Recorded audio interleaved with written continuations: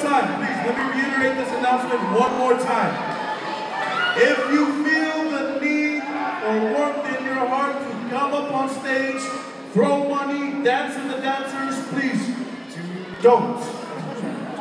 Please stay in your seats. Like every chapter here, they have worked their hardest, their absolute hardest, put in multiple hours to do what they do. So please, stay in your seats.